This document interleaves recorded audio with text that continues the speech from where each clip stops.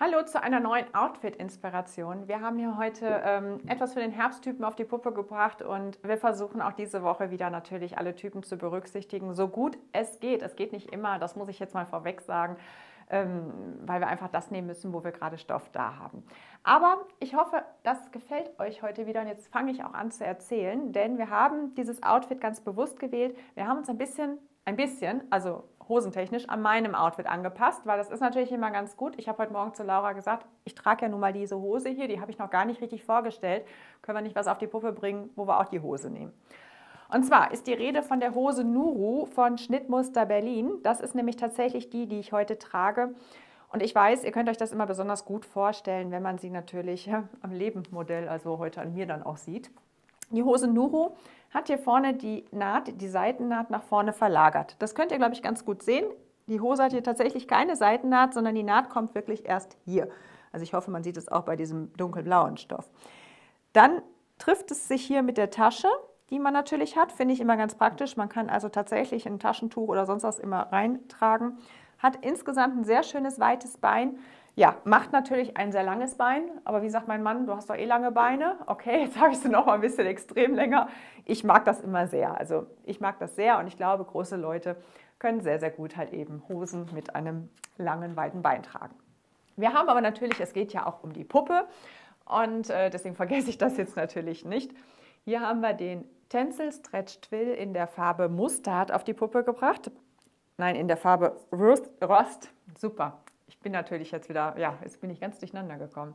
Also Rost ist das die Farbe und dieser Stoff, der hat eine ganz, ganz leichte Dehnbarkeit.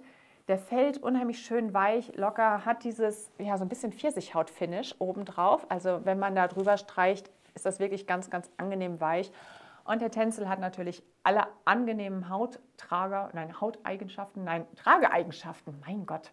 Er ist sehr ähm, klimaneutral, kann sehr, sehr gut halt eben ähm, mit den bei warmem Wetter mit umgehen, bei kaltem Wetter genauso, wärmt gut, kühlt gut. Also das sind wirklich ganz, ganz angenehme Trageeigenschaften und die könntest du halt eben auch für die Hose Nuru ähm, ja, gebrauchen, dafür zum Einsatz bringen.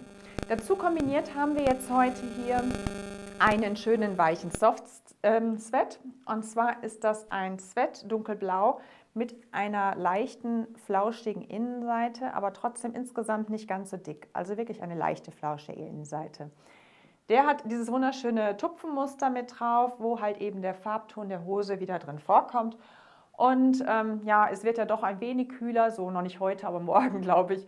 Da kann man natürlich auch sehr, sehr schön einen kurzen Hoodie zu dieser weiten Hose kombinieren. Also es muss ja nicht ein Shirt sein, es geht auch ein Hoodie.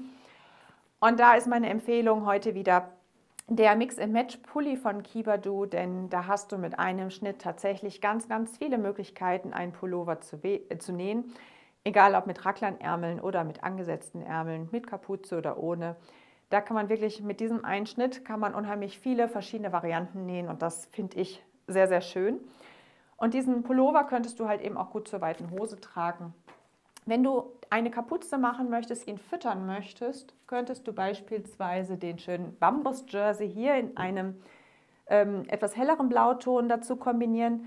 Das wäre dann so in etwa das jeansige Blau, was hier in dem Tupfen drin vorkommt und das dann halt eben in die Kapuze einfassen.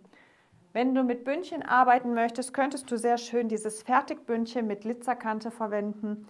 Das ist zwar ein Ton dunkler, aber es passt farblich dazu, sodass es nicht stört. Also auch das wäre möglich, sowohl halt eben als ähm, Bündchenabschluss oder Ärmelabschluss oder aber auch, wenn es kein Hoodie ist, oben als Kragen wäre das sehr, sehr schön einzunähen. Wir verlinken dir alle vorgestellten Artikel des heutigen Videos wieder in der Beschreibung und im Shop findest du es natürlich auch alles entsprechend unter dem heutigen Datum mit abgespeichert, sodass du da mit einem Klick genau auf die vorgestellten Sachen kommst. Und an dieser Stelle wünsche ich dir jetzt einen schönen Tag. Mach's gut und wir sehen uns bald wieder.